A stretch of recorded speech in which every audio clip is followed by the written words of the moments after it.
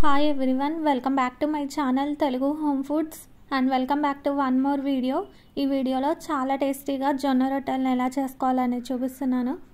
చాలామంది జొన్న రొట్టెలు చేసుకోవడానికి ఇబ్బంది పడుతూ ఉంటారు కదా అలాంటి వాళ్ళు సింపుల్గా జొన్న రొట్టెలను ఒకసారి ఇలా ట్రై చేసి చూడండి. టేస్ట్ అనేది చాలా బాగుంటుంది. వీడియోని ఎక్కడ స్కిప్ చేయకుండా చివరి వరకు చూసేయండి.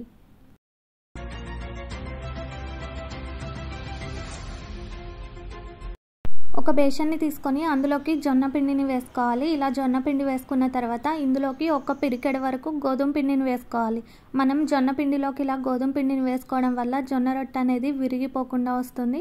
తర్వాత ఇందులోకి సాల్ట్ వేసుకొని మొత్తాన్ని కలుపుకున్న తర్వాత కొంచెం కొంచెం వాటర్ని వేసుకుంటూ పిండి మొత్తాన్ని గట్టిగా కలుపుకోవాలి. ఈ పిండిని కలుపుకోవడానికి ఇక్కడ నేను వేడి నీళ్ళు ఏం వాడట్లేదండి. నార్మల్ వాటర్తోనే ఈ పిండి మొత్తాన్ని కలుపుతున్నాను. అచ్చం జొన్న రొట్టెని చేసుకునేటట్టయితే మనం వేడి నీళ్ళతో కలుపుకుంటే జొన్న రొట్టె అనేది చాలా పర్ఫెక్ట్గా వస్తుంది. జొన్న పిండితో అచ్చం జొన్న రొట్టెలను ఎలా చేసుకోవాలనేది వీడియోని నేను ఆల్రెడీ పోస్ట్ చేశానండి. లింక్ కింద డిస్క్రిప్షన్లో ఇస్తాను. ఆ వీడియోని కూడా ఒకసారి చూసేయండి.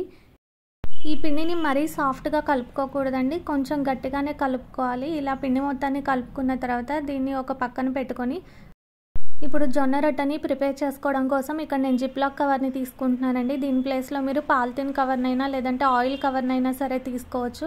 ఇప్పుడు ఈ కవర్కి కొంచెం ఆయిల్ని అప్లై చేసుకుంటూ కొంచెం కొంచెం పిండిని తీసుకొని దాన్ని సాఫ్ట్గా మిక్స్ చేసుకోవాలి.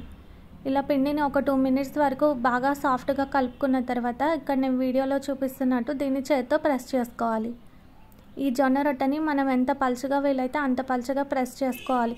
మధ్య మధ్యలో మన చేతిని తడి చేసుకుంటూ లేదంటే ఆయిల్ అయినా సరే అప్లై చేసుకుంటూ ఈ రొట్టె మొత్తాన్ని ప్రెస్ చేసుకోవాలి.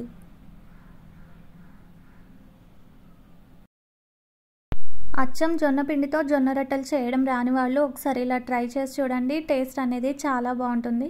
ఇలా రొట్టె మొత్తాన్ని ప్రెస్ చేసుకున్న తర్వాత ఈ రొట్టెను కాల్చుకోవడం కోసం స్టవ్ మీద ప్యాన్ పెట్టి ఆ ప్యాన్ బాగా హీట్ అయిన తర్వాత ఈ కవర్ మీద నుంచి నిదానంగా ఆ రొట్టెను తీసి పెనం మీదకి వేసుకోవాలి. ఇలా ప్యాన్ మీద వేసుకున్న తర్వాత ఒకవైపు ఇదంతా పచ్చిపోయి మంచిగా కాలిన తర్వాత రెండో వైపు కూడా ఫ్లిప్ చేసుకొని రెండో వైపు కూడా ఈవెన్గా కాల్చుకోవాలి. ఈ జొన్న రొట్టెని కాల్చుకోవడానికి ఇక్కడ నేను ఆయిల్ ఏం యూజ్ చేయట్లేదండి. నార్మల్గానే రెండు వైపులా కాలుస్తున్నాను. ఒకవేళ ఆయిల్ని ఇష్టపడే వాళ్ళైతే ఆయిల్ వేసుకొని కాల్చుకోవచ్చు. ఇలా రెండు వైపులా ఈవెన్గా కాలిన తర్వాత దీన్ని ఒక ప్లేట్లోకి తీసుకొని మనం రెగ్యులర్గా ఏ కర్రీస్ అయితే చేసుకుంటామో ఆ కర్రీస్తో దీన్ని సర్వ్ చేసుకుంటే టేస్ట్ అనేది చాలా బాగుంటుంది.